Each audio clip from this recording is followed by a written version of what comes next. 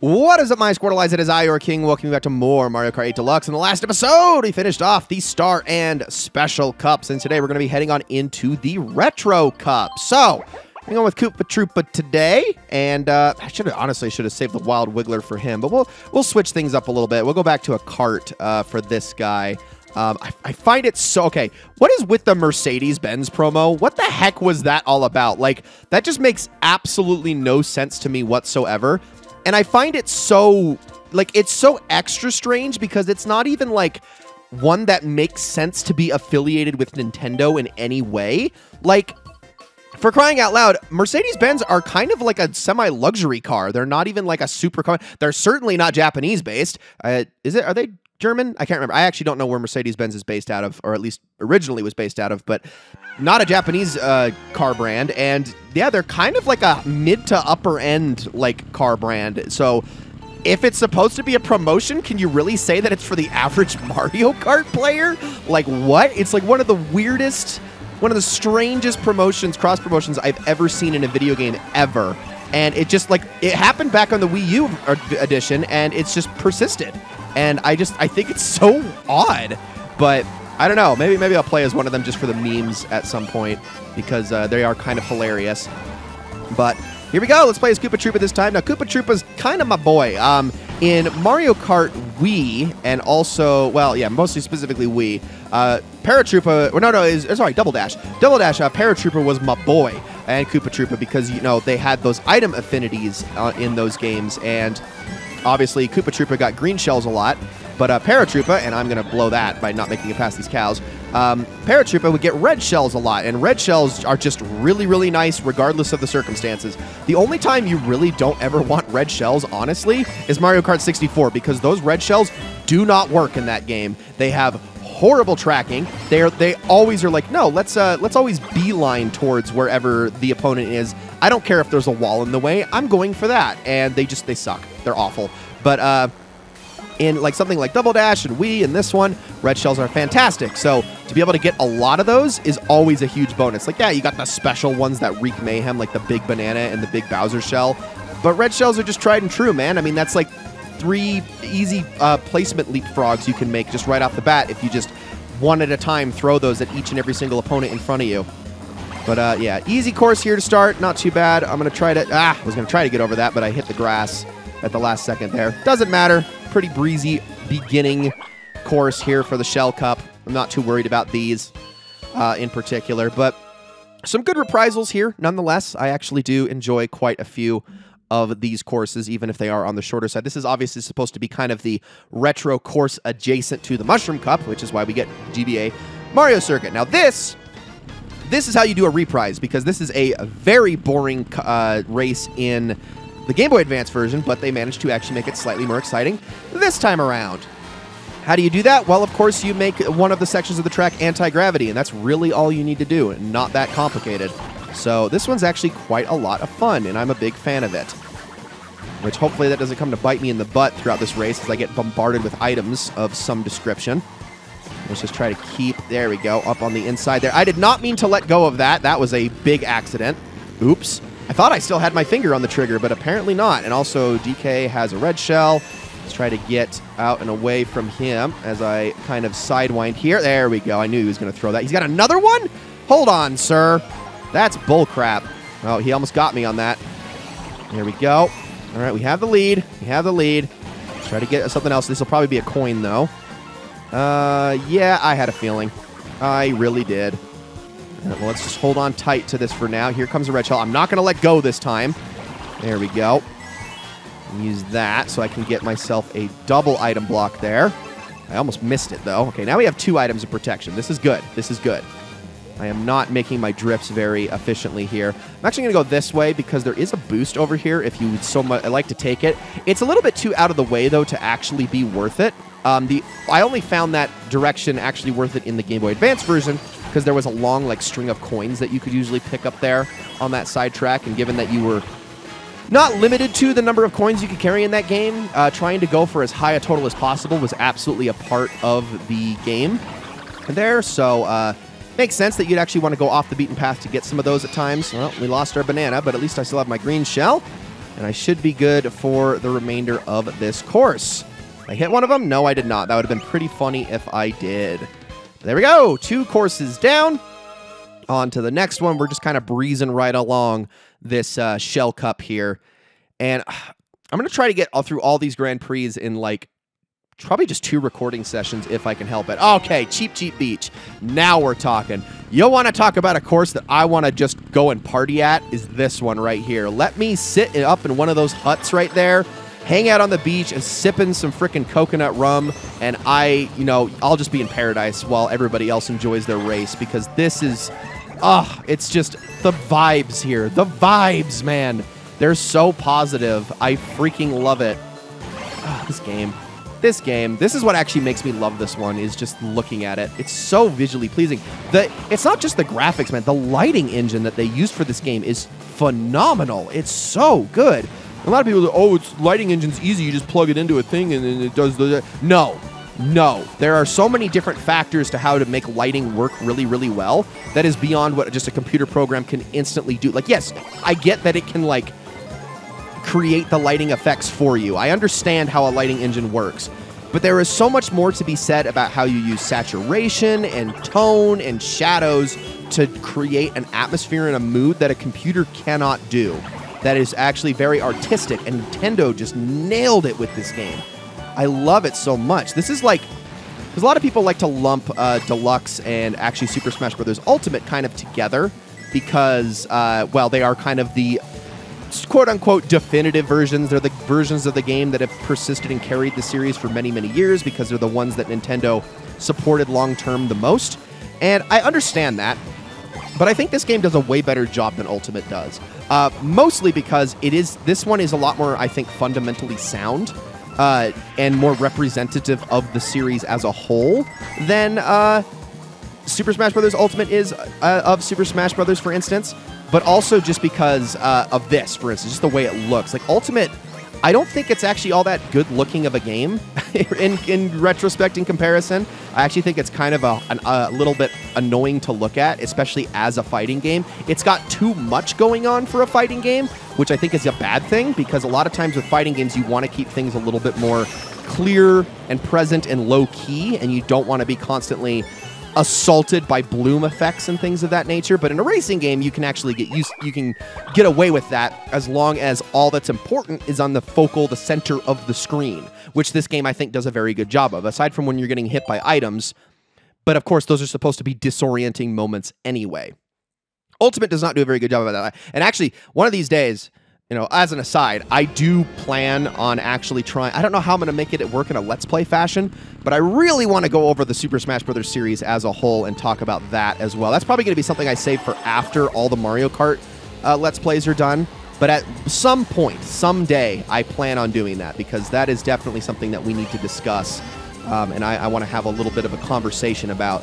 So, Toad's Turnpike probably the most overrated and my least favorite uh, course from all of Mario Kart 64 is this one because it's so boring and actually almost made worse by its reprisal. Now, they, they, obviously did some things to spice it up. You know, you can use these cars as ramps with the freaking snowboards or surfboards, excuse me. Uh, they threw more coins in here that you can go after. You got these side tracks that you can go up on to uh, uh, spruce things up a little bit.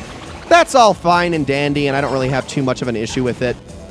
But they also spaced out the vehicles more. And in the 64 version, the vehicles were really the only thing that presented any present danger. Um, everything else is just kind of not really something you have to worry about. Um, but now that they've spaced them out, it kind of removes that danger, and now you're really just going around a highway that's very boring. And th this course sucks. I don't like it. I think it's really, really lame.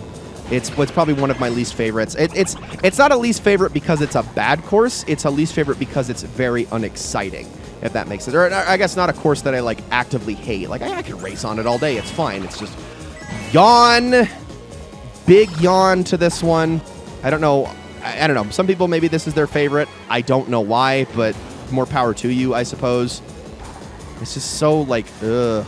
I would rather be racing on like the beginning Luigi's and Mario circuit than do this one but whatever. Whatever. I don't know if that puts me in the minority. I also don't like the fact that I'm not very far ahead right now. There's, I mean, I could be snaking right now, but there's not really a whole lot else I could do in this uh, situation to make this more exciting. And as long as I can just avoid a lot of shenanigans here, instead of taking the sidewall, I'm actually going to hit this here. And we'll skip across these.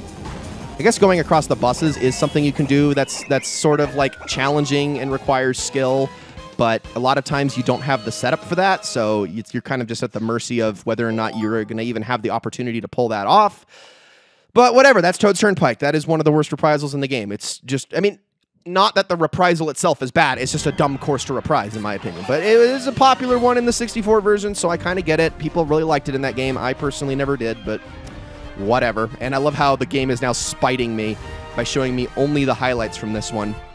Freak, it wasn't even eventful. There weren't even any blue shells or lightnings thrown my way. It was so boring. But there we go. Shell Cup done. And we get to see our little three star here, and then we can move on to the Banana Cup. And I bet you can't guess who I'm going to pick for that one. It's pretty freaking obvious. All right, here we go. On to the last cup of this episode. Let's go on and pick Donkey Kong. And for this one, we got ourselves a new cart, the Sports Coupe. Okay, cool. I might have to use that at some point. But for this particular race, I am going to be using... Where is it? I think I went past it. Where did it go? It's in here somewhere. Is it? oh, it is this one. Okay, I just it didn't look like it from the open screen. Okay, we're going to do that, and then we're going to try to get uh, pretty high acceleration if I can. Sponge. I think I'm going to go with the off-road wheels for this one, and then I will go with... Let's go with the flower parasol. Sure, why not?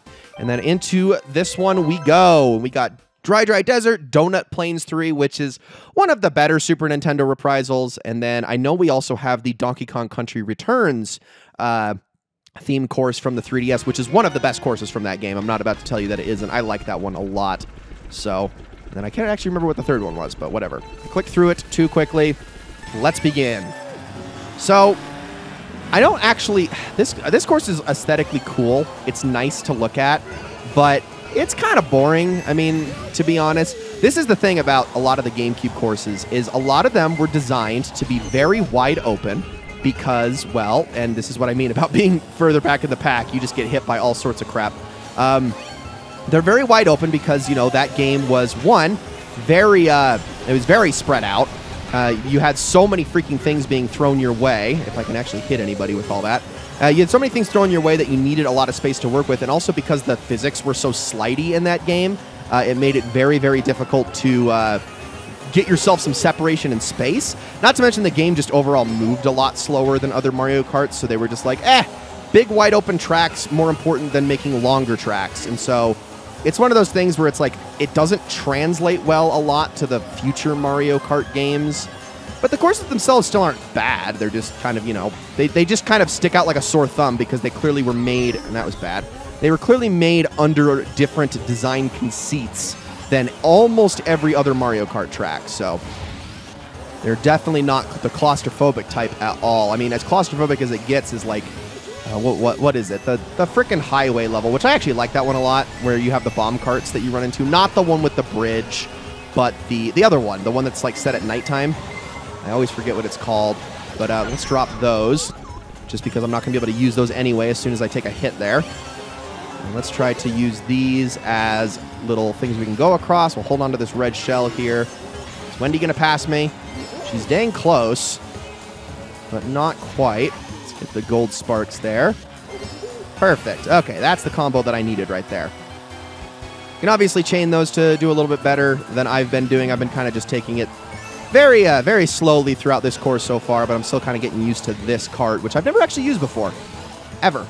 But wanted to see how it would be, it would handle, and so far it's not too bad.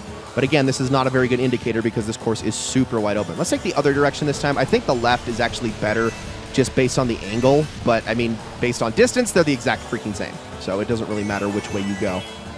Um, okay, well, ah, why did I do that? Why did I do that? That was not good. Don't be throwing red shells. Thank you. Get get Windy out of here. All right, let's try to chain. No! Don't be taking my stuff. Well, that's a little bit of an issue for me. Okay, let's try to chain these together quickly here so I can at least... Oh, I missed my opportunity. Ah! Gosh dang it. Didn't actually get the drift there. Oh, well, at least we finished before the blue shell got to us. So first one down. Not too bad. Now it's on to Donut Plains. All right. Now, the circumstances I'm recording this under is kind of iffy too. So, I, this is the same recording session as the very beginning of the series. Um, doing it kind of all at once. I have a lot of time right now because, well, I am actually semi bedridden at the moment because I uh, had a big. Uh, uh, I slipped a disc actually. Don't get old, people. Just don't get old. It's not worth it. Um, slipped a disc at work. I work a labor job. It's not like I did it while freaking carrot like printing papers or something like that and I bent weird. That's not what happened. I, I was actually doing like labor work. See, look at how that red shell still got through my freaking triple bananas, man. They just don't do the trick. They really don't. Um, anyway, if I can get some ground here. I slipped a disc at work, and uh, it caused a it, it, it caused it's pinching my sciatic nerve, which is you know very common back injury happens all the time, but it's a really severe one for me this time, and it actually has kept me out of work for a little bit, and I'm actually on like steroids right now just to work that off and hopefully get the nerves to stop uh, pinching me and the bulging to go away. So since I have all this time in the world, I decided, hey, why not? Let's uh, sit down and record some Mario Kart here. I'm also recording this like months in advance, so you guys are going to be seeing this probably about a, two months, two and a half months after I record these episodes. I think it's I think it's going to be two months actually, is what it's almost exactly going to be because this should start in the middle of January, and well, this episode's out in February, but should start in the middle of January, and then um, yeah, go for go from there. And I'm recording this in the middle of November, so not to date these episodes, but I mean, at the same time, I don't really care if I date episodes too badly, especially in like circumstances like this. Like, is it really a big deal if I'm like, yeah, I'm recording this ahead of time? Like, who doesn't do that? Like, unless like I had a full time, like, could make a full time job out of this, I would never attempt to record things and then release them within like the same week of each other. That's just not a practical thing to attempt. So, I don't know. It's not really a big deal to me if I'm like, yeah, this was all done in advance. Like, who cares? But all right, now on to the one that I actually wasn't paying attention to is next. Which level is this? It is. Oh, hey, Royal Raceway. I was actually speaking about this a couple episodes ago. Unfortunately, you cannot drive over to Peach's Castle in this one. They've gated it off. But still a very aesthetically nice looking level. I love the confetti at the starting line. I mean, it's a good course. This this is this is one of the more memorable, iconic N64 courses in my opinion. So there we go. You can get actually quite a few purple boosts here in the beginning. Don't try to hold on to it for too long, though, because it's not always worth it. Like, yeah, it's a super long boost, but sometimes it's better to just cut your losses and, and stick with the short boost if you can help it. Now, this part was always like a death sentence right here because this jump in the uh, 64 game was actually quite precarious, and then there was like slopes on either side of the track that you could bounce off of, and then you immediately lose all your momentum if you hit those, and that was always very frustrating. So that was actually a pretty difficult. Uh, this was actually one of the more difficult courses in Mario Kart 64, which is crazy to say because it's just a circuit course, and these are very generic. But this one, uh, this one can get pretty rough, especially because the way boosts behaved in that game was also very strange, too. So it just never felt right. Can I get anything but a coin, please? Like once? I would very much appreciate that. Well, it's not going to do me any good now because that's all I can apparently seem to get on this course just coin, coin, coin, coin, coin. Ugh.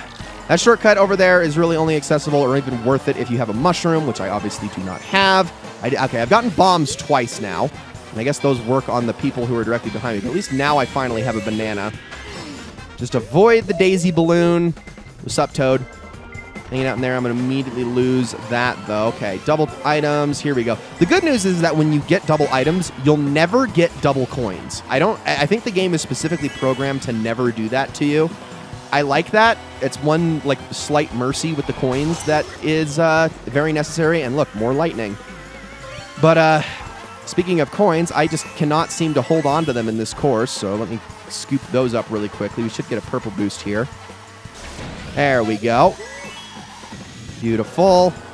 Just kind of chain those together.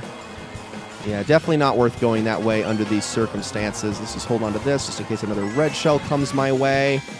Which it might. I do have a green shell now to defend me, but just please no lightning. I would very much appreciate that. The good news is that whenever you fall on these courses, though, Lakitu always brings you forward rather than backward like he would do in previous Mario Kart games. So I'm not too worried about like getting knocked off of a cliff there. Like I, I can mostly recover from that, no problem. It's kind of funny how they made falling off the course so much less of a punishment in this game, but I guess they want to keep it going. They want the energy high. Mario Kart 8 Deluxe definitely has that over most other Mario Karts. It's not it's very low stakes, low punishment, but that's because it's constantly just like go, go, go, go, go. And I'm I'm okay with that. I'm okay with that. It's a different style. But here we go. DK Jungle, the last course of this episode before we move on to the final of the retro courses. And then after that's going to be all of the Wii U DLC courses. Uh, ones that were added in the Wii U edition, but were already part of the vanilla run of this edition, Deluxe. So here we go. Let's do this thing. And this is going to be, uh, well, wow, Metal Mario has the same cart that I do. And I, oh, I thought I could get around that, but apparently I didn't pull in tightly enough. Okay, come on. Now these barrels, if I'm not mistaken, this is going to be a tough one here.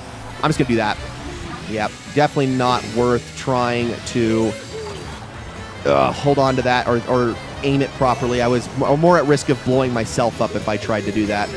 There we go. Okay, good start. Gosh, I love Donkey Kong Country Returns. I need to get into into actually recording these games because they are just fantastic. Big fan of the Donkey Kong Country games.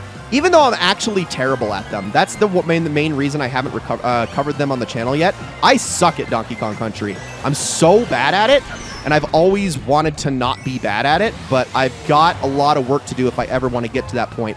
I'm so glad that that bump right there knocked me off course so bad that I legitimately couldn't recover. Come on. Let's get some ground here. I, I don't want to blow this here on the final race. I haven't lost a race yet in this Let's Play, and I would like to continue that. Oh, I could have used the mushroom there, but missed that opportunity. Let's just use it there. Kind of knock him off course if possible. I wasn't quite able to, but that's okay. I just needed to get a little bump there. All right. Oh, don't hit that banana. My bad. Okay, here we go coin. I'm just going to use that immediately because I am short on coins anyway.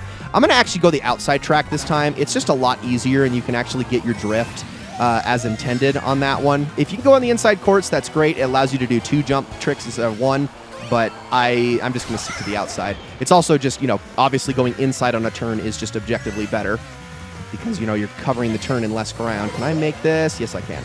Okay, good. See, I like how I was able to make that that time, but I couldn't make it when I got bumped into, even when I was fully, when I wasn't shrunk. You know what I mean? Very strange, but whatever. All right, let's keep these at the ready. Froggies and the frickin' boo. What did I hit there? Did I? I understand why it took the banana. Why did I take damage? I wasn't anywhere near anything. I'm genuinely confused about that. Okay, that was weird. Very strange hitbox, whatever that was. All right, we got a bomb. Let me throw this behind me. Not that it's going to do me any good. Oh, and that is exactly why I did not want to go on the inside track there. I didn't actually know the mushroom was there, but... And lightning makes sure I can't have 10 coins, because of course. Thanks. Thanks for that. But all right, we did it. We got our three stars. We won all four races. That is the end of the Banana Cup. Guys, thank you all so very much for watching. I hope you all enjoyed this episode of Mario Kart 8 Deluxe very, very much. In the next episode, we're going to be heading on into the Leaf and Lightning Cups, the final vanilla retro cups here in Mario Kart 8 before we move on into the Wii U DLC cups, the Egg Cup, the Triforce Cup, the, what is it, the Bell Cup, and the Crossing Cup which I'm very excited to get into those. But thank you all so very much for watching, and I will see you all in the next one.